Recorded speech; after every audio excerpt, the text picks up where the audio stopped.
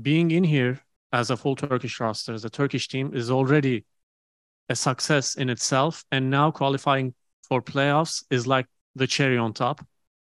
Uh, we managed to show that Turkish Valorant can exceed levels and uh, play on a higher level, but it doesn't stop here. I think the real victory will come when the Turkish team again attends champions the next year. Thank you. Next question also goes to MrFaliN from a Valorant competitive community member.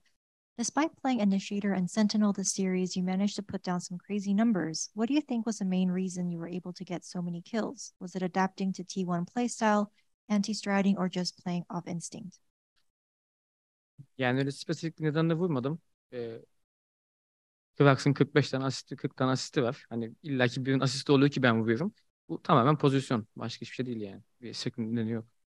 Well, there wasn't a specific reason that I that I had that many kills. qRaxs, for example, had like 40, 45 assists. Some people have to have a lot of assists so that other people can have a high number of kills. So it's nothing specific. It's it's just that I had the better position at that specific time. Thank you. Next question goes to um, Atta Captain uh, from Zen at Strafe Esports. Congratulations on qualifying for playoffs. As a reflection of your group stage run, what did you think of your performance throughout, and what can we expect from you guys in playoffs? Uh, playoff'lara kaldığınız için tebrikler öncelikle. Ee, grup aşamanızda düşünüldüğü zaman, grup aşamasındaki performansınızda düşünüldüğü zaman e, neler hissediyorsun ve turnuvada, turnuvanın ilerleyen aşamalarında nasıl bir performans göstereceğinizi düşünüyorsun? Yani e, zamana kadar zaten ilerlediğimiz seviye bizim için çok iyi bir seviye. E, beklediğimiz performans zaten top 8 ve üzeriydi. Yani önümüzdeki maçlarda yani diyecek ekstra bir şeyim yok. Kendi oyunumuzu zaten ortaya koyarsak güzel bir oyun sergileriz. Yani inşallah birkaç bin daha alırız. Uh, the level of play we've already displayed is quite good, I think. We've come here with the goal of attaining top eight or better. Uh, so if we fix our mistakes, if we play our own game, I believe we can go even further in the next parts of the tournament. Thank you very much. We'll now switch to online uh, remote media. If you have any questions, please use the Zoom hand raise feature. First question comes from Jordan at VLRGG. Well, this question is for Gais. Uh, your team takes more eco rounds than any other at this event, primarily because you haven't bought into the half armor meta that Fnatic popularized. Do you think that this strategy will continue to work against the best teams in the playoffs? Uh, could you repeat the first part of the question regarding Fnatic? Ben söyleyeyim. Or okay, he's got it. Yeah. Yani ekstra bir çalışmamız olmuyor aslında scrimlerde.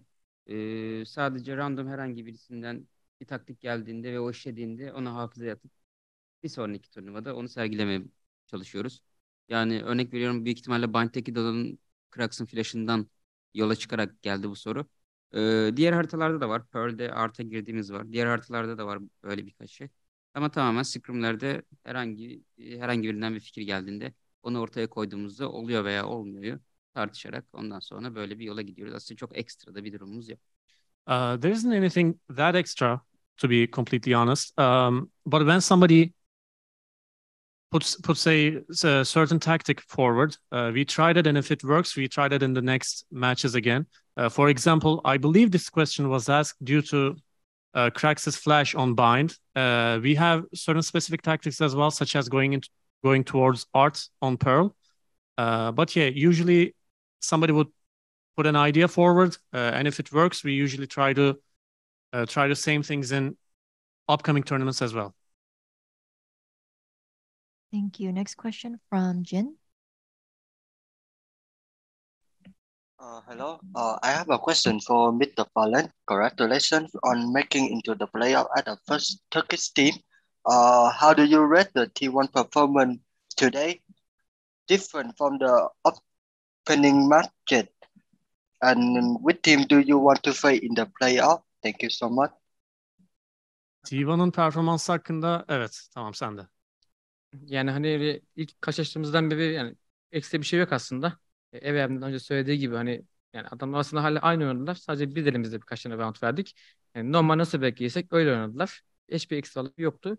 E, playoff'a gelince de hani evvelde ilk maçtan EG gelmesi istedim ama aynı grupta zaten EG gelmeyecek. Herhalde ilk maçtan bir DRX isterim. Master'ın şey olması için. Uh, T1 didn't do anything extra between the two matches.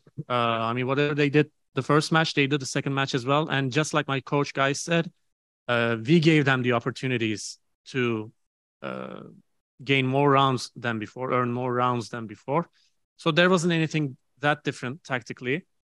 Uh, in terms of the rest of the tournaments, although I would like to face EG, I don't think we will be facing against them since we were in the same group, but I would like to face against DRX.